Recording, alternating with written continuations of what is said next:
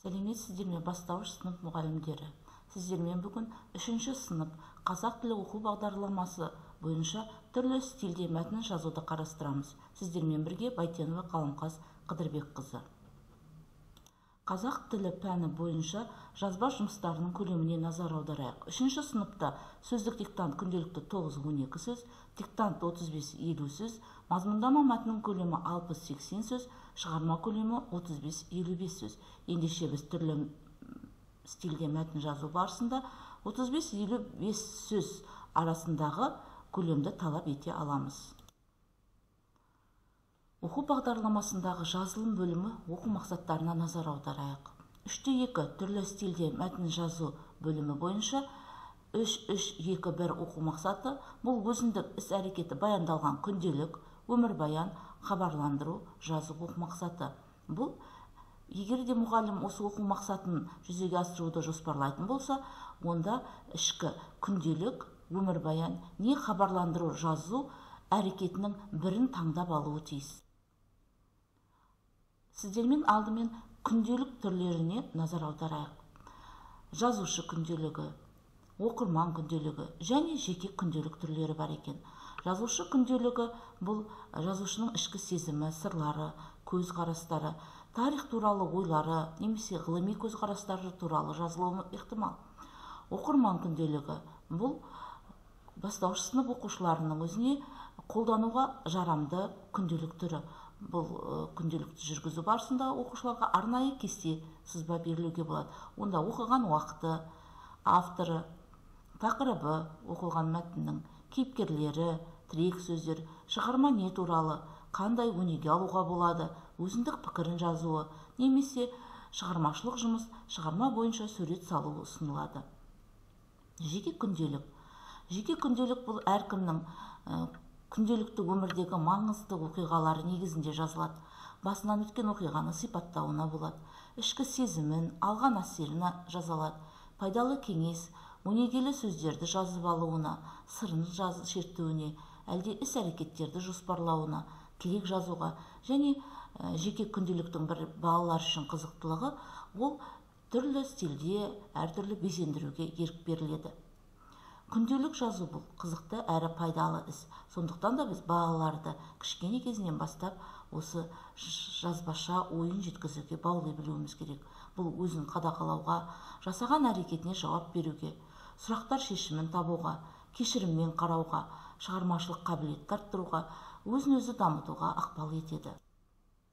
Оқушылармен осындай ақпараттармен бөлісе отырып күнделік жазу туралы пікірлерімен таныстырайық мысалы оқушылардың ә, ғаламторды қолданатынын бәріміз жақсы білеміз. Сондықтан да ғаламтор беттерінен күнделік туралы адамдардың пікірлері қандай екенін зерттеу тапсырмасын беруге болады. Сіздерге осы материалдардан ұсыныс. Мысалы мөлдір амангелдинованың жазбасы. Күнделік қажет деп ойлаймын. Себебі күнделік сенің досың сияқты өзге жандарға айта алмаған сырларыңды күнделікке жазасың. Басыңнан өткізген түрлі қиын немесе қызық сәттерді күнделік бетіне жазып біраз уақыт өткеннен кейін күліп отырып еске аласың.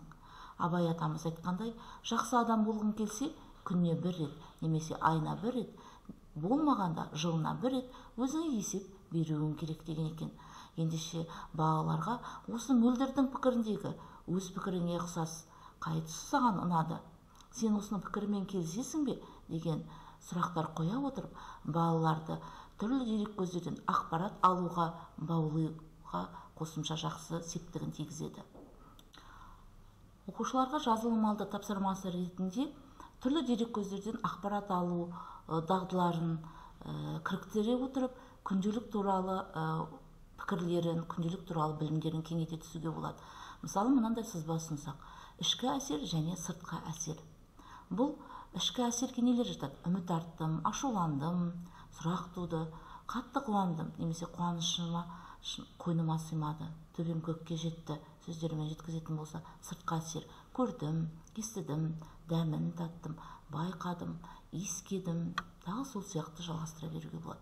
Сонда бұл ә, сөз сөздерді біз қай кезде қолдана аламыз? Яғни бұл ә, сөздердің маңыздылығын реттілігін пайдалану бойынша оқушылармен өзіндік сызба негізінде алынған мәліметтер негізінде күнделіктің жазу құрылымына қарай оқушылардың білімін кеңейте түсеміз. Яғни француз жазушы жюль ренар күнделік адамның жанының айнасы расында күнделік бұл кім қайда қашан? деген сұрақтарға жауап табу ғана емес. Яғни адам ішкі және сыртқы әсері адамның көңіл күйі сырлы сезімі адам жанының көрініс табатын жанр деген екен. Осындай ақпараттармен оқушылармен бөлісе отырып яғни балалардың өзінің деңгейіндегі күнделік жазу үлгілерімен таныстыру келесі реттік жұмыс болады яғни мынандай күнделік беттерінен үлгілерін береміз. Күнделік беттерінен үлгі беру барысында біз оқушылардың ерекшеліктерін ескере отырып оларға қыз баланың және ұл баланың күнделіктерін ұсынғанды жөн санадық. Яғни он сегізінші қараса мамыр айынан бастап құмыра ішіне теңге жинап жүрмін. Велосипед алғым келді. Асфальт үстінде зырылдап тепкенге не жетсін шіркін. Бұл арманым қашан орындалар екен? Көктемге дейін біраз уақыт бар. Қазір не істерімді білмей отырмын. Анам сіңліме күзгі аяқ киім мен бас киім алып бермекші. Бірақ ақша жеткізе алмай жүр. Жиған ақшамды қосып тосын сый жасасам ба екен? Яғни осы күнделік бетін оқу барысында балаларды тек қана ішкі өзінің сезімін өзінің әсерлерін ғана жазуды емес сонымен оның арғы тәрбиелік құндылыққа қарай баланы баулуға күнделік жазу арқылы өзін өзі тәрбиелеуге баланың өзінің ересектермен бірдей тең ойлануға солармен бірдей жауапкершілікті көтере білетініне сенім ұялатып олардың тәрбиелік жағына аса көңіл бөлінгені дұрыс. Сондықтан да оқушыларға іріктелген материалдар ішінде бұл салыстыра бару барысында балалар тоқ өтері түйінді қандай маңызды өзіңе үлгі болатын әрекет таптың деген сұрақпен түйіндеп отырған дұрыс. Оқушылардың талдау салыстыру дағдыларын дамыту мақсатында осы жерде екі түрлі берілген күнделікті салыстыра отырып яғни қай күнделікте ішкі сыры жазылған ал қай күнделікте сезімі көбірек орын алған. Яғни оқушылар кестеге арнайы түсіре отырып бұл екі күнделікті құрылымын талдайды. Осындай жұмыстан кейін оқушылар өзіндік ә, күнделігін жазуға ә, қадам жасайды. Яғни бұл жұмыстың өзі бірнеше қадамнан тұрады. Сондықтан да бірінші жоспарлау. Екінші алғашқы күнделіктің нұсқасын жазу. Үшінші қадамда міндетті түрде бұл өзін өзі және өзара немесе топта ақылдаса отырып қайта қарастыру. Яғни қандай тұстарын жақсартуға болады күнделіктің. Яғни осы кезде түзету және редакциялау жұмыстары төртінші қадам сөзсіз туындайды. Өйткені жіберілген қателіктер стилистикалық немесе грамматикалық қателерді түзету жұмысы қолға алыну керек. Сондай ең соңғы қадам бұл соңғы нұсқа күнделіктің таза соңғы нұсқасын жазу. Бірнеше рет оқушылар осы алгоритм негізінде күнделік жазғаннан соң өз бетінше жеке күнделікті ә, өмірде кездескен жақсы өздерінің қызықты оқиғаларын бастан кешкендерін естелік сақтау үшін арнайы күнделік жазуға дәптер арнап қосымша жүргізуіне болады. Оқушылардың жеке жазымына нелер жатады. Бұл күнделік жазу хат жазу өмірбаян жазу және ішкі сезімін жеткізу монолог бұл баланың өзінің тәжірибесі мен сезімін көрсететін және өзінің атынан жазалатын баяндаудың басы соңы қызықты бір оқиғасы құрылымы сақталып келетіні. Яғни логикалық айтылым ойының тізбегі сақталуы уақытты көрсететін оқиғалардың тәртібі байыппен баяндалады. Уақытты көрсететін хронологиялық даталары бар жазылымның түрі бұл өмірбаян жазу. Өмірбаян жазу жеке адамның өмір жолы хронологиялық тәртіпте берілетін жанр. Онда азаматтың аты жөні туған жылы күні айы туған жері ұлты отбасы жағдайы білімі Ә, бітірген оқу орындары қызметі жазылатын болса балалар өздерінің қатысқан үйірмелері оқыған ә, ә, мектебі немесе бұдан алдыңғы болған балабақшасы туралы мәліметтерді көрсете алады. Яғни оқушыларға осы айтылып отырған ақпаратты тірек сызба ретінде құрылымдап берген дұрыс.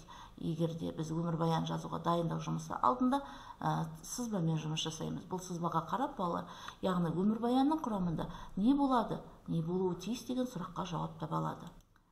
Жазылым алды тапсырмасы ретінде екі өмірбаян беріледі. Бұл өмірбаяндардың өзі балалар өздеріне жастары шамалас болған кезіндегі жазылған дінмұхан димаш пен айшаның өмірбаяны. Яғни оқушыларға берілетін тапсырма өмірбаянды оқып салыстыра білуі қандай ұқсастығы мен айырмашылықтарын бар екенін анықтау және өмірбаяндағы деректерді арнайы сызбаға түсіру.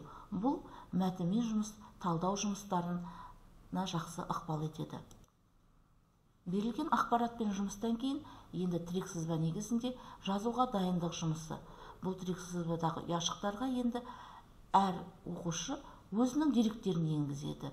Оларды хронологиялық ретпен орналастырып реттік санын белгілеуіне және ұяшықтағы деректерді қайта қарастырып оқып тексеріп түзетуіне мәліметтердің толықтығына көз жеткізуіне және осы мәліметтерді ары қарай қалай толықтыруына жетілдіруіне болатын жағдайларын қарастырып өзінің өмірбаян жазуына дайындауға болады.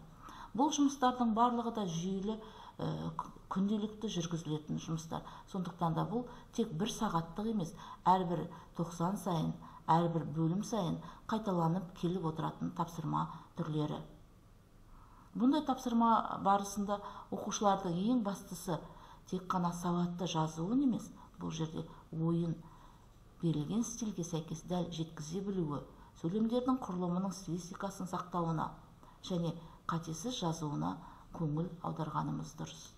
Құрметті ұстаздар қазақ тіл сабағын беру барысында түрлі идеяларды сіздер жүйелі әдістемелік кешен сайтында нис оқулық парақшасында немесе story edu kz ғаламтор желісі арқылы идея алып назарбаев зияткерлік мектептерінің іс тәжірибесін мен таныса және пайдалана аласыздар. Көріскенше сау болыңыздар.